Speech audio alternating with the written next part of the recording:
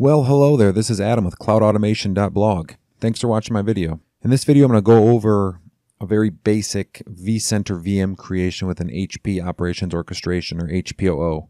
So what we have on the screen right here is, is HPOO 10.6. Before we jump in, I just want to show a few things that I did to save us some time throughout the process because we will use this flow in many flows like this again. So I created a project in the top left and under the project, I'm just going to go down to the system accounts tab and you can see I've created a couple accounts here. So if I just, if I drill into these, what you do is you, you go to this, the folder and you right click on, you click new and you do new system account. So what this does is this stores this credential so we can access it later without having to type it in over and over and over again. We want to do the same thing if we scroll down some more. We go to system properties. I actually want to add those hosts. So you can see I have an IPAM host, a Qualys host, a ServiceNow host, as well as that vCenter host that I want to show right now. So going back up, we're going to create a new workflow. And you can see here is my workflow. Create vCenter VM and a couple precursor tasks. So create AD account, create IPAM entry. So this would be, you know, I actually need to create an Active Directory account. I need to create a DNS entry and then get that IP address back and, and save it to actually apply it to the customization spec. You know, for this demo, I skipped over this because it's not really needed, but these are things that would happen prior to actually creating the VM. And then as you can see, then there's some things that happen after I create the VM, which we'll get into in just a second. But what you're going to want to do is go down here to Library, Integrations, VMware, VMware Virtual Infrastructure, and vSphere, down to Virtual Machines, down to Templates, and use Deploy VM from Template. Click that, drag that onto your canvas, and you'll see that's here. Assign from, click that, and you'll see you'll see your host. So if you scroll all the way to the bottom, you'll see your host that you added under Properties. So select your vCenter host. The user, if you if you click that, you do system account, you'll do that vCenter credential that you added, and the credential type is the username. The password is the same process, except this time you're going to have the credential type as password. You can leave the port and the protocol alone, the closed session, the async, leave that alone. The template name is what you'll get out of vCenter. It's your vCenter VM template. So if I go over to vCenter real quick, you'll see here templates. You'll see my Windows 2K12 R2 standard. So type that in here, use constant, make sure it's not prompt user and it is use constant, type in your template name.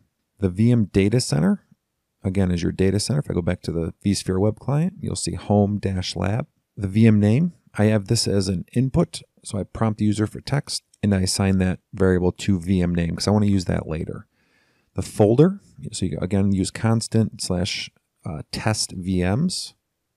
Slash is just root, so that's when it'll put it on like a cluster uh, VM resource pool I did not use. Data store I used VM, VM NFS01. Again, if I go over to my VMware vSphere client, I click storage, you'll see VM NFS01. Host system I left empty because I'm using a cluster. You'll see my cluster name there. Thin provisioned I put as true.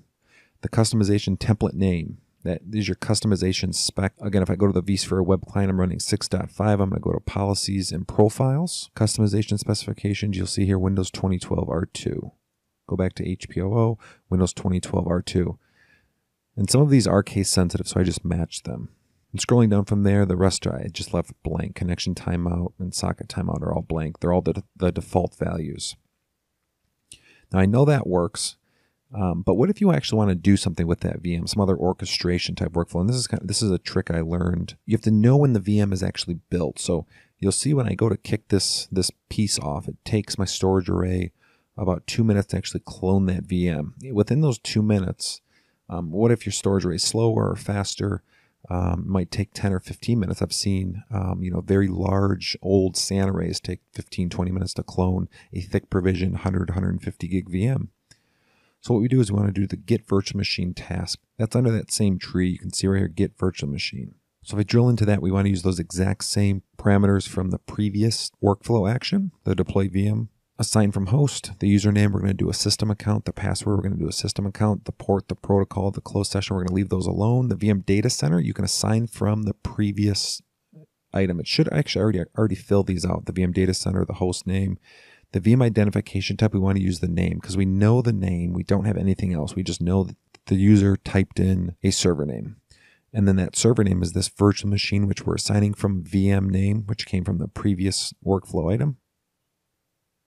And if that fails, and it's going to fail the very first time it runs, it's not going to be able to find the VM. It's still going to be running this. And when it fails, we want to loop it around. So you can see I added a loop. I'm just counting from 1 to 20, so you'll see from 1 to 20.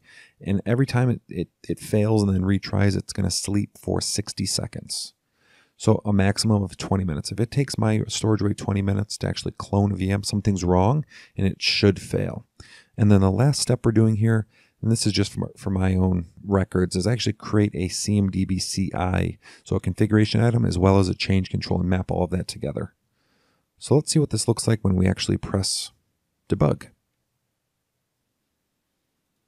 So I'm going to press debug there from the local connection. I'm going to press play. I'm going to leave these close session false and async true. Those are the default values. I'm going to leave those. But I'm going to type in, we're going to do cab-test VM-01. I'm going to click continue. And you'll see here the step clone virtual machine was complete. So it was able to queue that. So if I click on this, you'll see here tasks 5820 task successfully queued. That means that vCenter recognized that and queued that clone. Said, okay, everything's great. As far as HPOO is concerned, the task was orchestrated, but it's not actually complete. So we don't know if it was successful or not. Maybe the data store ran out of space or something happened. So what we want to do is, again, that get virtual machine. This is where it's going to go into that loop. If I jump over the vSphere web client, You'll see here, this is the one that actually it just kicked off at, at 1041 and 52 seconds. That's currently being cloned. If I jump back here, you'll see that loop will go through. And I'm just going to sit here and actually cut some of this video out. But if we look at, at a timestamp, you'll see here 2241. It just ran again. So this workflow is completed successfully. As you can see here, the VM name is cab-test VM01. The VM ID that it pulled out of vCenter when the task was completed is VM-288. If we jump over to vCenter, we'll see here the VM was successfully created. I go back to HPOO, we can then see that the next couple workflows did also complete successfully. So you can see the create snow CMDB and change control completed successfully. And what we can do is we can jump over to ServiceNow real quick do a quick refresh on my change requests. And you'll see here, change 3009, automated change for VM creation. If I drill into that, we will see it was requested by HP Operations Orchestration, hardware. There's the configuration item that was also created. The priority, you can see a short description as well as a longer description. This, you can put whatever you wanted here. The point of this is that I can create the CI I can create the change control and then I can link those two together pretty simply for this virtual machine. One thing I wanted to cover real quick, on your system property, that vCenter host property, you can just set it something like this. You can see mine's cab-vc01.cab.local. You don't need to put HTTPS. You don't need to put 443 or port 8443 or 10443. Um, you can just leave it just like this. The port will actually be used within the workflow. So if I go back to the workflow, you'll see here port is specified in this workflow as well as the host that it's pulling it from. I hope you enjoyed this video. If you have any questions, feel free to reach out to me. Hit me on Twitter, YouTube, or if you have a special request or you want me to demo something else, feel free, again, to hit me up on Twitter. Thanks for watching. Have a great day.